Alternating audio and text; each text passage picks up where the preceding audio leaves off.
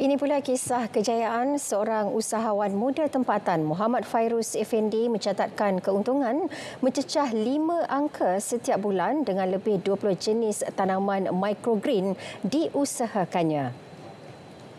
Beliau yang kini merupakan pembekal sayuran microgreen kepada hotel dan restoran mewah mengakui kejayaan itu dicapai menerusi Pelan Transformasi Ekonomi Bumi Putra 2035 atau Putra 35. Fairuz optimis inisiatif seumpama itu mampu membantu usahawan sepertinya untuk mengembangkan lagi perniagaan.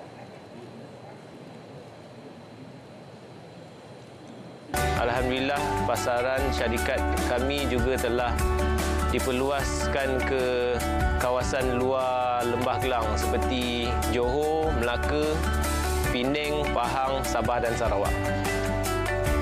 Saya berharap perniagaan saya dapat dikembangkan dengan pengenalan kepada produk-produk baru selain Mango Greens dan produk saya dapat menembusi pasaran luar Malaysia.